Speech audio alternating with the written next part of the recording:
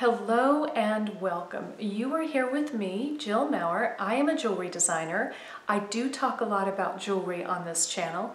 Today, however, I have an unboxing for you. I have a Louis Vuitton unboxing. I was recently at Tyson's Galleria with Bobster92, and that is where I purchased this item. While I was there, he and I both purchased one of these, a luggage tag. We unboxed it on Bobster92's channel, and then on my channel, he shared two different ways to put this luggage tag on your bag. When I was at Tyson's, I wasn't really planning to buy anything. My goal was to look at everything, create a wish list, think about it, and then go back in a little while. But I had thought about this item a lot and hadn't done it, and I'll tell you why as I unbox it and why I decided to go ahead and get it this time while I was there with Bobster 92.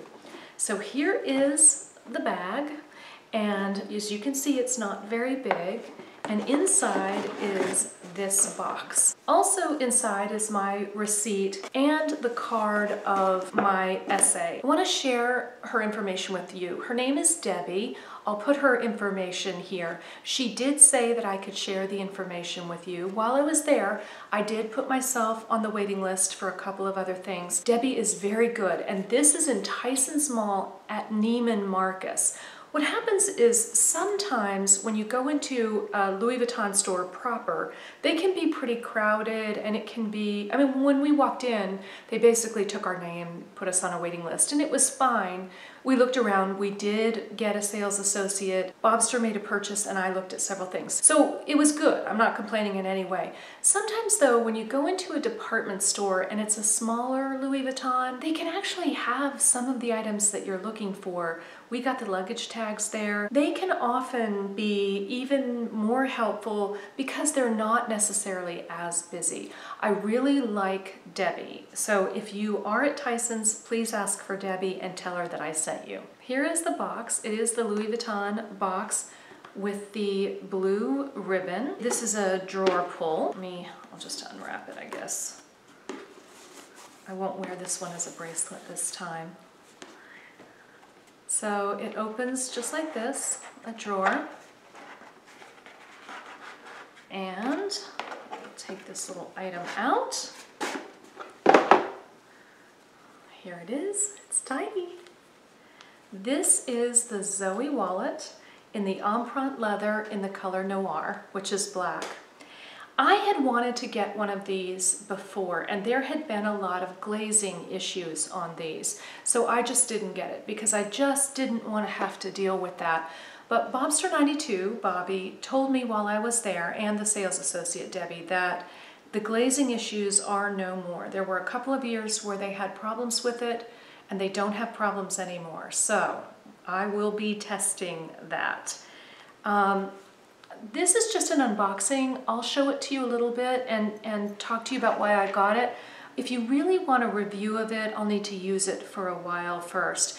This is the wallet that I carry a lot of the time. This is my Zippy coin purse. And there are pros and cons to using this. There are enough cons with it that I wanted to try this type of wallet. And I'll just show you here that this little Zoe wallet is even smaller than the Zippy coin. I love the Empreinte leather. It has a pocket here in the back.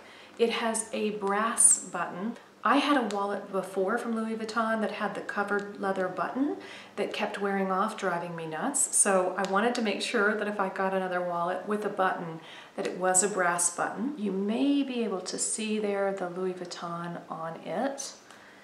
And this wallet is a trifold, opens like this.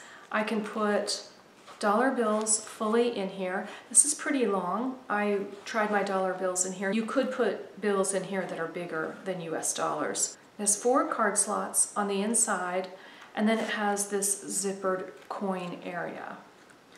And, oh, here we go. If you'd like to see what this item is, it's right there. This one says Louis Vuitton Paris, made in France. What I'm hoping is that this will become the wallet that I use all the time. I'm not somebody, I, I, do have a lot of handbags, as you may know, And I do have several SLGs, but I'm not somebody who likes to have a whole lot of SLGs and certainly not a whole lot of wallets. The wallets I have right now are my full-size Zippy wallet, which I don't think I'll ever give up because it is the older kind that opens and lays flat. It's a great wallet. And then I have the Zippy coin purse, and I would like for this to replace the Zippy coin purse. It may be that I end up using this one full time. We'll see. With the four slots, you know, I just have to decide if this is if this will be enough. We will know soon enough. I do plan to do a couple of other videos as I get to know this wallet better.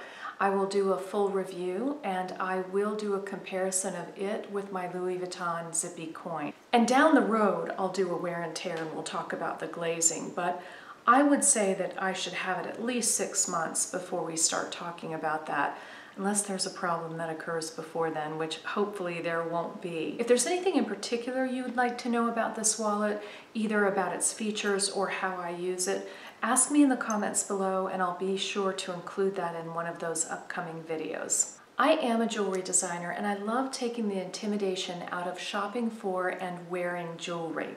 I talk a lot about jewelry on this channel and I also talk about other aspects of design, especially luxury design and designer handbags. If that is of interest to you, I would love for you to subscribe. I'm uploading a video every single day for 2019 and I'd love to see you here again tomorrow. Until then,